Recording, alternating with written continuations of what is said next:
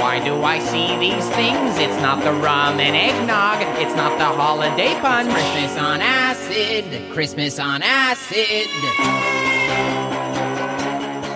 Welcome to the Weird Christmas Podcast. I'm Craig Kringle. I'm just going to come right out and say what we're all thinking. Santa Claus is a big, red, hallucinogenic mushroom. And you know it too, way down deep in your psychedelic belly. Okay, now before you go delete the podcast or go listen to something more boring, let me give you some background. Ever since I started sharing these weird old postcards years ago, I've always gotten questions from people asking about the connection between Santa Claus and this little red mushroom with a white stem and white dots called Amanita muscaria, or sometimes the fly agaric mushroom. It's a theory that haunts all the shadowy corners of the internet. Now, you've probably seen this thing too, even if you don't remember. It's all over the old cards, and a lot of Christmas decorations, especially from Northern Europe and Scandinavia, they still feature mushrooms or mushroom people. I mean, I was even walking around a holiday market in Chicago the other day and saw an entire shelf full of ornaments and knickknacks shaped like the things. I'll put a bunch of examples on weirdchristmas.com for you to see. Anyway, after promising a ton of people I'd get to this, it's finally time.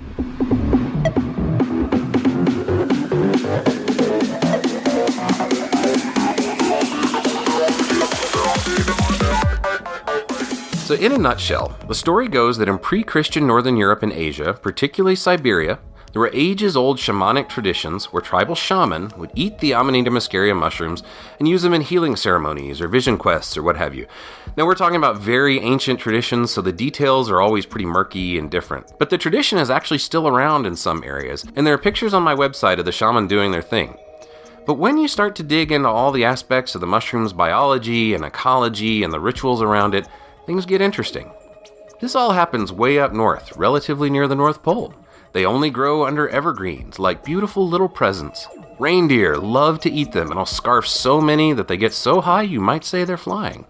Some of the shaman did and still do dress up like the mushroom in big red and white coats. And there's more, but hopefully you can see where this is going. Actually, Terence McKenna does a better job of explaining it than I do. And if you don't know who McKenna was, think Timothy Leary, but much more entertaining and much, much stranger. If you go to the Encyclopedia Britannica and you look up Santa Claus, they'll tell you that it has to do with St. Nicholas and it got started in the 11th century and it's a, but when you look at the Santa Claus story, first of all, Santa Claus's colors are red and white, the colors of the Amanita muscaria for sure. Santa Claus lives at the North Pole. What does this mean? It means that Santa Claus lives at the Axis Mundi, where Yggdrasil, the magic world ash of Welsh mythology, has uh, taken root. Santa Claus flies. This is what shamans do. Santa Claus is the master of the reindeer, the animal most associated with the Amanita muscaria. So, so here are all the motifs, and I believe that for children in our culture, that all the Christer stuff is not what Christmas is about.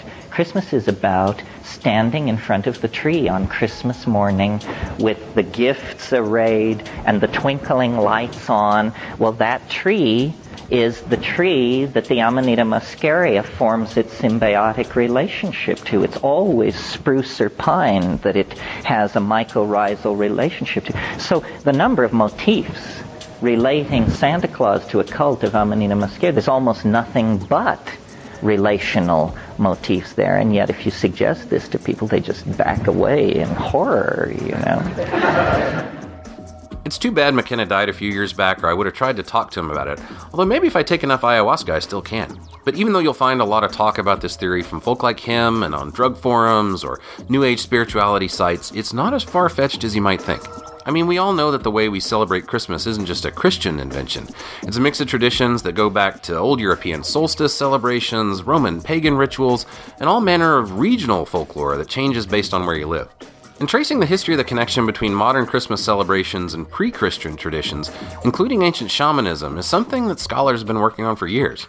So I called a couple, to see how strong that connection might really be. So when you when when you see the image of Santa, I mean, you've got to go in a in a, a hundred different directions at the same time in order to try and understand it. That's John Rush, professor of anthropology at Sierra College, who's written a ton on the folklore history of religion and occult practices. And his recent books include The Mushroom in Christian Art and Entheogens, or Hallucinogens, in the Development of Culture. So he's a good guy to ask. He told me that the image of Santa as a magical figure wearing a big woolly suit of red fur is something that goes back farther than you might think. And the possibility that it might mean that Santa gets a lot of his look from ancient shamans has some weight.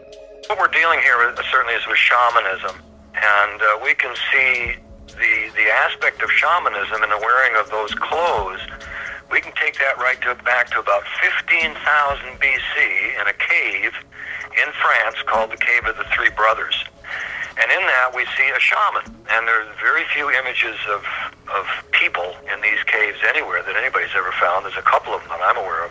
And this is one of them. And what it is, is a, a human being who uh, becomes the animal master. The original animal master was probably a bear, but the cave bear dies out, and so they're in trouble with that, and so they, through their own creativity, they come up with the human being being the animal master. And you, you see him in the cave, uh, and he's dressed in a composite animal suit with the antlers and uh, a red deer scoot, a suit and so on. He's got a wolf's tail and uh, feline genital, genitals and, and so on and so forth.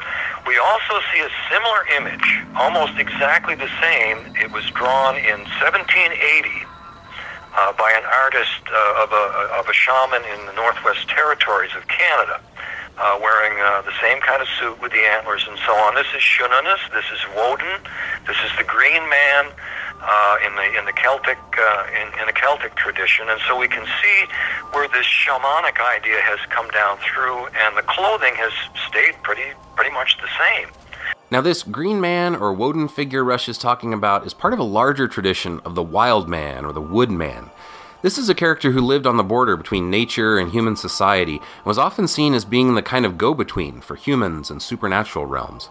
And that's also what a shaman's role usually is, and still is in some native Siberian communities. Rush isn't the only person to make this connection, by the way. There's a fascinating book by Phyllis Siefker called Santa Claus, the Last of the Wild Men that goes into this in more detail.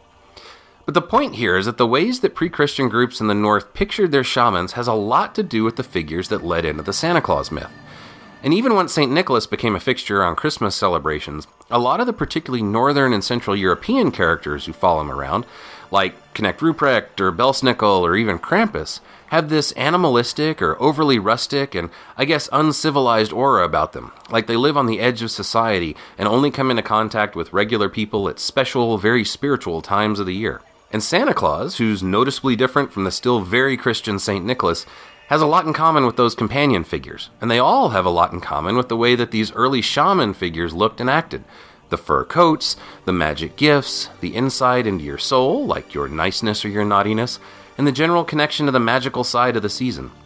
I gotta say, too, that the way all these sidekicks lead to Santa Claus might be fuel for a separate podcast, since there's a much more complicated story there.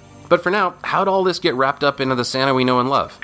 Now, it was uh, sort of standardized or became an icon Oh, probably beginning in the 15th or 16th century with Father Winter, uh, who's all bundled up with a sack on his back and he's bringing toys to children. We see that in Europe. Uh, the more recent renderings of this, uh, probably the best are Thomas Nast uh, with his image of Santa. Nast, by the way, is the artist who's usually credited with giving us the earliest iconic images of Santa Claus that actually stuck, at least in America. And I've got his famous pictures from Harper's Weekly up on my site. And it's definitely a shaman. And the reason we know this is because of the holly he's wearing on his head. It's Ilex aquifolium. And the magicalness of that is if you throw it at an animal, it'll lay down and do what you tell it to do. And so it shows a shaman, uh, the, excuse me, Santa as the, the animal master, the shaman. Okay, so Santa may well look like an old shaman, but his clothes aren't the only connection. When you look at the traditions associated with the practicing Siberian shaman today, things get a little weirder. Um, the, the story is that we have shaman who, during the solstice, and this is the connection of Jesus and the, the new sun and so on and so forth, uh, going around in the fall and collecting uh, these Amanita muscaria mushrooms and then distributing them on the solstice. Uh, and of course, this business of the chimney. Uh, the chimney is an interesting symbol here. We can get to that later. But at any rate, uh, during the winter months, you can't get into the house, and so they all had trap doors in the roofs, you know, because there was just so much snow around. And so that's kind of Santa coming into the house. Uh, the pine tree is uh, brought into the house so that you could get the gift under the tree. And what's the gift under the tree? Well, it's the Amanita muscaria mushroom because it grows synergistically off of the roots of pine trees and cedar trees and so on and so forth. I have to admit, I love the idea that the shaman had to enter the houses or perhaps yurts through a hole in the roof because the houses were buried in the snow, and that hole was where the smoke from the fires went through, like a chimney. As a kid, I never got why Santa had to come down through the chimney, though as a parent, I know that Santa would much rather leave things by the warm fire than have to go leave something outside on the snowy doorstep. So some reports had the shaman having to leave the mushrooms to dry on the leaves of the trees, which looks suspiciously like Christmas tree ornaments. I don't know if I buy that part, but it doesn't stop plenty of people from trying to say that this is why we decorate Christmas trees. Some even say that they had to be dried further by being hung near a fire once they got delivered, like a stocking. So if that wasn't enough, there's also the reindeer. See, apparently Siberian reindeer love, and I mean love, to eat the mushrooms. But the animals are also a significant part of Siberian culture, because they're essentially the most common beasts of burden. Carl Ruck, professor of classics at Boston University, points out that they make this whole connection even stronger, and I apologize for the background noise here.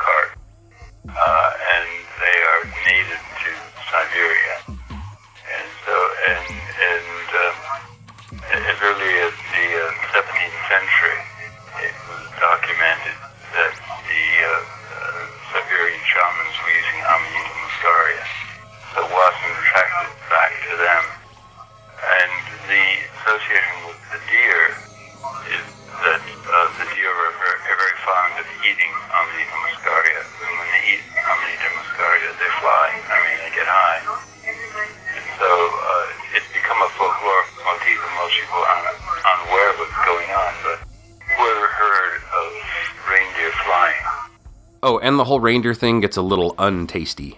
People have actually seen the uh, the uh, uh, reindeer going out and digging for these mushrooms and actually uh, seeking out urine from other reindeers that have consumed the mushroom because uh, what you get out of the urine is the muscimol. It's the pure muscimol, and you don't have the bad effects of it. Okay, so obviously everyone who still sends cards with the mushrooms on them or hangs a mushroom ornament on a tree doesn't go tripping every Christmas morning. I mean, images and traditions often get kept for reasons we don't even remember, and it could have been that all these connections were misunderstood leftovers. But I like to think that the images had to stay around for a reason and really represent something still meaningful. And Rush said something that kind of clicked for me. Well, yeah, I, I think that some of the meaning has been lost to it, but I think that they referenced luck. In other words, the lucky mushroom and uh, the lucky broom used to uh, sweep out chimneys, and chimney chimneys representing, uh, in some way, because it's an open fire in a house. It, the house is a pipe, and you're you're you know you're smoking it really. And anyways, you want you need to keep that uh, chimney clean so that the smoke could go up to the gods or the messages could go up to the gods and so on. And so you're, you're talking around this whole business of luck. And if you have a mushroom like that or, or chimney sweep's broom or even a chimney, the image of a chimney sweep, these are kind of lucky images throughout Europe. And keep in mind that they, this, that whole area, the geography would be certainly closer to all of this. When he mentions chimney brooms, by the way, he's talking about those bundles of switches that Krampus and Knecht Ruprecht carry and supposedly hit the naughty kids with. But these symbols can often get all mixed up. The point about magic luck and wanting to keep some kind of access to the supernatural world, well, when you get away from the Christian or the seasonal meanings of the celebration, Christmas is the one time of the year when even cynical fools like me feel like the world gets a bit more magical. So that that's why I think they're so pervasive here, and we see the iconography. I think the, the a lot of the meaning has been lost, and you're just for some people just looking at pretty pretty plants. Sure. Uh, but the deeper meaning is that these have been used to commune with the other side, to either uh, solve problems or for a spiritual adventure or from sort of indoctrination and so on and so forth. That's the thing that makes me like this theory in the end. I mean, the mushrooms are definitely still around in decorations, so be sure to check your friend's tree next time you're at their house. You never know what you'll find. And keep your eyes out for them at stores. I guarantee you'll see them more than you'd expect, so that direct connection is still there. As for Santa being a shaman, there's enough support for the idea that the way he looks and acts is part of a long tradition that, at the very least, mixes his character with other characters who are definitely drawn from the same cloth. And yeah, of course, St. Nick got mixed in along the way, but some of these connections go back far further than the saint. And come on, who doesn't love this explanation for reindeer flying seriously, seriously high? But I personally like this idea for what I guess is a spiritual reason. And if you can't tell from the way I usually talk about people's cherished traditions and icons, I'm not a particularly spiritual person.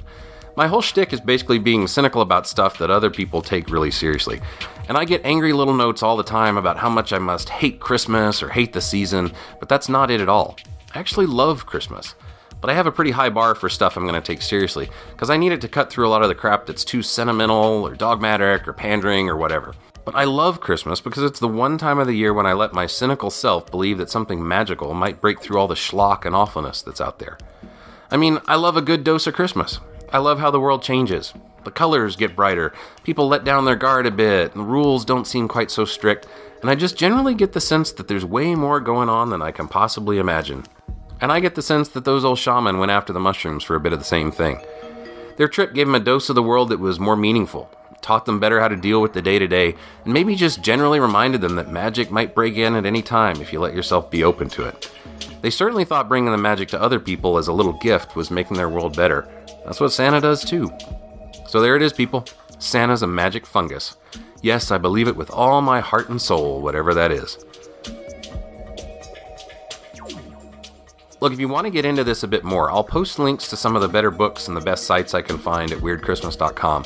I'll also put the full interviews with Dr. Rush and Dr. Ruck up too, and they both had a whole lot to say about the relationship between drugs and other holidays and religion in general that just didn't work for this podcast, but they were fascinating conversations. Thanks again for listening. If you think I'm insane or high for talking about this stuff, let me know at weirdxmas at gmail.com or leave a comment on the website. And don't forget to subscribe on iTunes or wherever you get your podcasts. Leaving a review also just gives me the jollies, and I'd appreciate any feedback.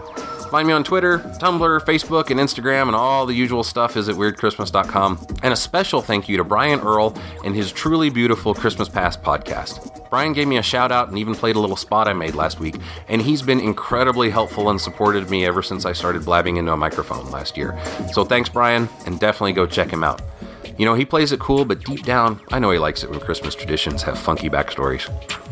The next episode will be a special treat that I got a lot of help with, and I'll leave you with a little preview of what you'll have to suffer. So until next time, here's hoping Santa doesn't stuff you in his bulging, sweaty sack.